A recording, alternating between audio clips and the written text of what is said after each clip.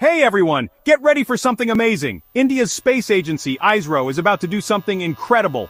Tonight, at 10, 0 p.m. India time from Sriharikota, we're launching the Space Docking Experiment or SpaDeX.